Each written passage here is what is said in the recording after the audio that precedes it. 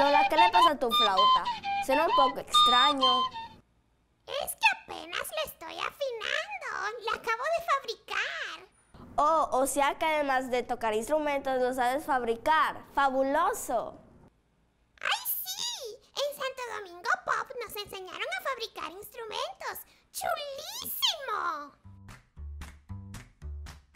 Estuvimos en el Festival Artístico Santo Domingo Pop, en el punto ecológico de Atabey, donde hablamos con el señor Bienvenido Valdés Lutier, uno de los tres especialistas en todo el mundo en fabricar instrumentos musicales con residuos sólidos.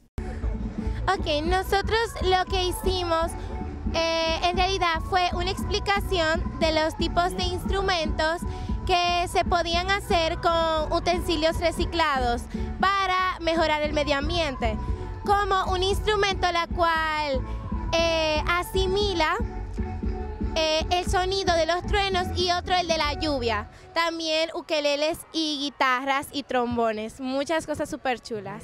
El taller de instrumentos musicales consistió en, yo, yo escuché al señor hablando sobre, sobre cómo hacer tambora, por ejemplo, el bajo, y hacemos en una lata y, y ponemos un cable abajo y, así suena, uno lo y así lo suena, así suena. Bueno, eso es muy creativo, me pareció muy, muy importante y así, no, así es más, es más es natural, no, no no contamina el ambiente. Él hizo una breve presentación de su trabajo, mostrando los diferentes instrumentos y enseñándolos a tocar, motivando de esta manera a los chicos y chicas en participar en esta iniciativa.